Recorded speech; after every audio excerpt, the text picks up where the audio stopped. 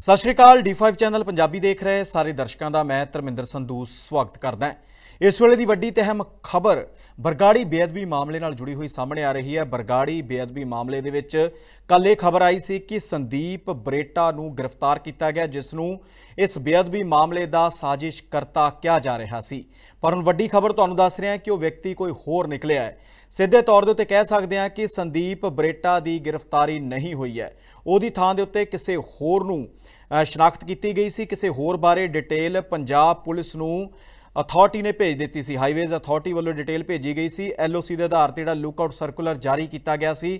Punjab police ਵੱਲੋਂ ਉਹਦੇ ਆਧਾਰ ਦੇ ਉੱਤੇ ਭੇਜਿਆ ਗਿਆ ਸੀ ਕਿ ਸੰਦੀਪ ਬਰੇਟਾ ਨੂੰ ਅਸੀਂ ਡਿਟੇਨ ਕਰ ਲਿਆ ਪਰ ਹੁਣ ਤੁਹਾਨੂੰ ਖਬਰ ਦੱਸ ਰਿਹਾ ਕਿ ਸੰਦੀਪ ਬਰੇਟਾ ਪੁਲਿਸ ਦੀ ਗ੍ਰਿਫਤ ਤੋਂ ਬਾਹਰ ਹੈ।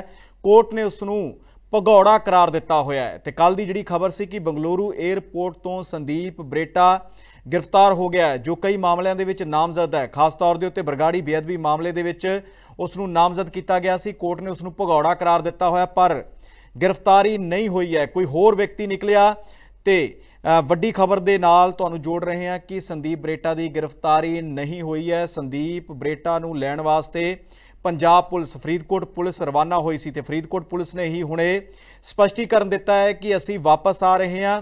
ਐਲਓਸੀ ਦੇ ਆਧਾਰ ਦੇ ਉੱਤੇ ਸਾਨੂੰ ਹਾਈਵੇਜ਼ ਅਥਾਰਟੀ ਵੱਲੋਂ ਇਹ ਭੇਜਿਆ ਗਿਆ ਸੀ ਕਿ ਸੰਦੀਪ ਬਰੇਟਾ ਨੂੰ ਅਸੀਂ ਡਿਟੇਨ ਕਰ ਲਿਆ, ਪਰ ਹੁਣ ਜਾਂਚ ਤੇ ਸ਼ਨਾਖਤ ਤੋਂ ਬਾਅਦ ਪਤਾ ਲੱਗਿਆ ਹੈ ਕਿ ਉਹ ਸੰਦੀਪ ਕੋਈ ਹੋਰ ਨਿਕਲਿਆ। ਸੰਦੀਪ ਬਰੇਟਾ ਨਹੀਂ ਹੈ, ਜਿਸ ਨੂੰ ਗ੍ਰਿਫਤਾਰ ਕਰਨ ਵਾਸਤੇ ਪੰਜਾਬ ਪੁਲਿਸ ਪਹੁੰਚੀ ਸੀ। ਤੇ ਵੱਡੀ ਖਬਰ ਇਹ ਵੀ ਸੀ ਕਿ ਸਿੱਖ ਸੰਗਤ ਨੂੰ ਇਨਸਾਫ ਦੀ ਉਮੀਦ ਬੱਜੀ ਸੀ ਕਿ ਪੰਜਾਬ ਪੁਲਿਸ ਅਤੇ ਹੋਰਨਾਂ ਸੂਬਿਆਂ ਦੀ ਪੁਲਿਸ ਨੇ ਸਹਿਯੋਗ ਦੇ ਨਾਲ ਸੰਦੀਪ ਬਰੇਟਾ ਨੂੰ ਗ੍ਰਿਫਤਾਰ ਕਰ ਲਿਆ ਹੈ ਤੇ ਹੁਣ ਪੁੱਛਗਿੱਛ ਦੇ ਦੌਰਾਨ ਕਾਫੀ ਖੁਲਾਸੇ ਹੋਣਗੇ, ਬੇਅਦਬੀ ਮਾਮਲਿਆਂ ਦੇ ਵਿੱਚ ਇਨਸਾਫ ਮਿਲ ਜਾਵੇਗਾ। ਪਰ ਅਜਿਹਾ ਨਹੀਂ ਹੋਇਆ। ਸੰਦੀਪ ਬਰੇਟਾ ਦੀ ਥਾਂ ਦੇ ਉੱਤੇ ਕਿਸੇ ਹੋਰ ਨੂੰ ਡਿਟੇਨ ਕੀਤਾ ਗਿਆ ਸੀ, ਜਿਹਦੀ ਜਾਣਕਾਰੀ ਫਰੀਦਕੋਟ ਪੁਲਿਸ ਨੇ ਆਪਣੀ ਪੋਸਟ ਦੇ ਰਾਹੀਂ ਸਾਂਝੀ ਵੀ ਕਰ ਦਿੱਤੀ ਹੈ ਕਿ ਸੰਦੀਪ ਬਰੇਟਾ ਨਹੀਂ ਹੈ ਉਹ। ਕੋਈ ਹੋਰ ਹੀ ਨਿਕਲਿਆ ਹੈ, ਜਿਸ ਦੇ ਬਾਰੇ ਹਾਈਵੇਜ਼ ਅਥਾਰਟੀ ਨੇ ਇਹਨਾਂ ਨੂੰ ਭੇਜਿਆ ਸੀ। ਐਲਓਸੀ ਦੇ ਆਧਾਰ ਦੇ ਉੱਤੇ ਜਿਹੜਾ ਲੁੱਕ ਆਊਟ ਸਰਕੂਲਰ ਜਾਰੀ ਕੀਤਾ ਗਿਆ ਹੈ ਪੰਜਾਬ ਪੁਲਿਸ ਵੱਲੋਂ।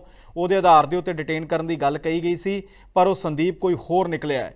ਵੱਡੀ ਖਬਰ ਤੁਹਾਨੂੰ ਦੱਸ ਰਿਹਾ ਕਿ ਬੇਅਦਬੀ ਮਾਮਲਾ, ਬੇਅਦਬੀ ਮਾਮਲੇ ਨੂੰ ਲੈ ਕੇ ਸਿੱਖ ਸੰਗਤ ਦੇ ਮਨਾਂ ਦੇ ਵਿੱਚ ਅਜੇ ਵੀ ਰੋਸ ਹੈ। ਸਰਕਾਰਾਂ ਦੀ ਕਾਰਗੁਜ਼ਾਰੀ ਦੇ ਉੱਤੇ ਵੀ ਵੱਡੇ ਸਵਾਲ ਚੁੱਕੇ ਜਾਂਦੇ ਨੇ ਤੇ ਬੇਅਦਬੀ ਮਾਮਲਿਆਂ ਨੂੰ ਹੱਲ ਕਰਨ ਵਾਸਤੇ, ਇਨਸਾਫ ਦਿਵਾਉਣ ਵਾਸਤੇ ਸਾਰੀਆਂ ਸਰਕਾਰਾਂ ਲੋਕਾਂ ਨੂੰ ਕਹਿੰਦੀਆਂ ਨੇ ਕਿ ਅਸੀਂ ਇਨਸਾਫ ਦਿਵਾਵਾਂਗੇ। ਸਿੱਟ ਦਾ ਗਠਨ ਕੀਤਾ ਜਾਂਦਾ ਹੈ, ਸਿੱਟ ਦੇ ਮੁਖੀ ਬਦਲ ਦਿੱਤੇ ਜਾਂਦੇ ਨੇ, ਨਵੇਂ ਸਿਰੇ ਤੋਂ ਜਾਂਚ ਸ਼ੁਰੂ ਕੀਤੀ ਜਾਂਦੀ ਹੈ।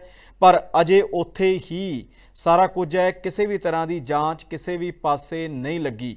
ਗੋਲੀकांड ਹੋਏ, ਉਹਨਾਂ ਨੂੰ ਲੈ ਕੇ ਵੀ ਚਰਚਾ ਸੀਗੀ, ਜਿਹਦੇ ਵਿੱਚ ਸਵਰਗਵਾਸੀ ਪ੍ਰਕਾਸ਼ ਸਿੰਘ ਬਾਦਲ ਹੋਰਾਂ ਦਾ ਨਾਮ ਵੀ ਆ ਗਿਆ। ਪ੍ਰਕਾਸ਼ ਸਿੰਘ ਬਾਦਲ ਤੋਂ ਇਲਾਵਾ ਸੁਖਬੀਰ ਸਿੰਘ ਬਾਦਲ ਹੋਰਾਂ ਦਾ ਨਾਮ ਆਇਆ। ਸੁਮੇਸ਼ ਸੈਣੀ ਜੋ ਉਸ ਵੇਲੇ ਦੇ ਡੀਜੀਪੀ ਸੀਗੇ, ਉਹਨਾਂ ਦਾ ਨਾਮ ਵੀ ਆਇਆ। ਪਰ ਜਾਂਚ ਅਜੇ ਤੱਕ ਕਿਸੇ ਵੀ ਤਣ ਪੱਤਰ ਨਹੀਂ ਲੱਗੀ ਤੇ ਹੁਣ ਕੱਲ ਉਮੀਦ ਇੱਕ ਜਾਗੀ ਸੀ ਕਿ ਸੰਦੀਪ ਬਰੇਟਾ ਗ੍ਰਿਫਤਾਰ ਹੋ ਗਿਆ ਤੇ ਦੋ ਦੇ ਹੋਰ ਸਾਥੀ ਵੀ ਅਜੇ ਫਰਾਰ ਨੇ, ਪਰ ਹੁਣ ਤਿੰਨੋਂ ਹੀ ਫਰਾਰ ਨੇ, ਕਿਉਂਕਿ ਸੰਦੀਪ ਬਰੇਟਾ ਦੀ ਗ੍ਰਿਫਤਾਰੀ ਨਹੀਂ ਹੋਈ ਹੈ। ਸੰਦੀਪ ਬਰੇਟਾ ਨੂੰ ਲੈਣ ਵਾਸਤੇ ਬੈਂਗਲੁਰੂ ਪਹੁੰਚੀ ਸੀ ਫਰੀਦਕੋਟ ਪੁਲਿਸ, ਪਰ ਖਾਲੀ ਹੱਥ ਵਾਪਸ ਪਰਤ ਰਹੀ ਹੈ। ਕਿਉਂਕਿ ਸੰਦੀਪ ਬਰੇਟਾ ਦੀ ਥਾਂ ਦੇ ਉੱਤੇ ਕੋਈ ਹੋਰ ਸੰਦੀਪ ਨਿਕਲਿਆ, ਜਿਹਦੀ ਜਾਣਕਾਰੀ ਹਾਈਵੇਜ਼ ਅਥਾਰਟੀ ਵੱਲੋਂ ਦਿੱਤੀ ਗਈ ਸੀ ਕਿ 에어ਪੋਰਟ ਦੇ ਉੱਤੇ ਅਸੀਂ ਸੰਦੀਪ ਬਰੇਟਾ ਨੂੰ ਡਿਟੇਨ ਕਰ ਲਿਆ ਹੁਣ ਦੇਖਣਾ ਹੋਵੇਗਾ ਕਿ ਆਉਣ ਵਾਲੇ ਸਮੇਂ ਦੇ ਵਿੱਚ ਇਹ ਮਾਮਲਾ ਅੱਗੇ ਜਾ ਕੇ ਕੀ ਮੋੜ ਲੈਂਦਾ ਹੈ, ਕਦੋਂ ਤੱਕ ਗ੍ਰਿਫਤਾਰੀਆਂ ਹੁੰਦੀਆਂ ਨੇ ਤੇ ਪੁਲਿਸ ਅਸਲ ਦੋਸ਼ੀਆਂ ਤੱਕ ਕਦੋਂ ਪਹੁੰਚਦੀ ਹੈ? ਕੈਮਰਾਮੈਨ ਗੁਰਪ੍ਰੀਤ ਸਬਰਵਾਲ ਦੇ ਨਾਲ ਮੈਂ ਧਰਮਿੰਦਰ ਸੰਧੂ ਜੁੜੇ ਰਹੋ D5 ਚੈਨਲ ਪੰਜਾਬੀ ਦੇ ਨਾਲ। ਨਿਡਰ ਹਾਂ ਨਿਰਪੱਖ ਰਹਾਂਗੇ। ਆਜ਼ਾਦ ਹਾਂ ਸੱਚ ਕਹਾਂਗੇ। ਗੱਲ ਕਰਾਂਗੇ ਸਿਆਸੀ ਹਵਾ ਦੀ। ਹੋਣਗੇ ਹੁਕਮਰਾਨਾਂ ਨੂੰ ਸਿੱਧੇ ਸਵਾਲ। ਸਭ ਤੋਂ ਪਹਿਲਾਂ ਪਹੁੰਚਾਵਾਂਗੇ ਤੁਹਾਡੇ ਤੱਕ ਸਿਰਫ ਸੱਚੀ ਖਬਰ। ਦੱਸਾਂਗੇ ਕੌਣ ਕਰ ਰਿਹਾ ਹੈ ਤੁਹਾਡੇ ਤੇ ਸਬਰ। ਵਿਦੇਸ਼ਾਂ 'ਚ ਬੈਠੇ ਪੰਜਾਬੀਆਂ ਦੇ ਹੱਕ ਦੀ ਕਰਾਂਗੇ ਗੱਲ। ਕੈਨੇਡਾ ਦੀ ਹਰ ਸਿਆਸੀ ਖਬਰ ਲੈ ਕੇ ਆਵਾਂਗੇ ਤੁਹਾਡੇ ਵੱਲ। ਉਪਰਾਂਗੇ ਪੰਜਾਬ ਦੀ ਆਵਾਜ਼ ਬਣ ਕੇ। ਹੋਣਗੇ ਹਰ ਪਹਿਲੂ ਤੇ ਰੋਜ਼ ਚਰਚੇ। ਖੁੱਲਾਂਗੇ ਅੰਦਰੂਨੀ ਰਾਜ। ਬਣਾਂਗੇ ਬੁਲੰਦ ਆਵਾਜ਼। ਖੇਡ ਸਿੱਖਿਆ ਸਿਹਤ ਖੇਤੀ ਦੀ ਬਾਤ ਪਾਵਾਂਗੇ। ਹਰ ਪਿੰਡ ਹਰ ਸ਼ਹਿਰ ਜਾਵਾਂਗੇ। ਮਨੋਰੰਜਨ ਨਾਲ ਜੁੜੇ ਕਲਾਕਾਰਾਂ ਨਾਲ ਕਰਵਾਵਾਂਗੇ ਮੁਲਾਕਾਤ। ਸੰਘਰਸ਼ਾਂ ਵਾਲੀ ਜ਼ਿੰਦਗੀ ਤੇ ਮਾਰਾਂਗੇ ਝਾਤ ਕੀ ਨੇ ਸਾਡੇ ਕਾਨੂੰਨ ਫਰਜ਼ ਤੇ ਅਧਿਕਾਰ? ਕੀ ਕਰਦੀ ਹੈ ਸਾਡੀ ਸਰਕਾਰ? ਕੀ ਹੈ ਤੁਹਾਡੀ ਮੁਸ਼ਕਲ ਦਾ ਹੱਲ? D5 ਚੈਨਲ ਪੰਜਾਬੀ ਦੀ ਕਚਹਿਰੀ 'ਚ ਹੋਵੇਗੀ।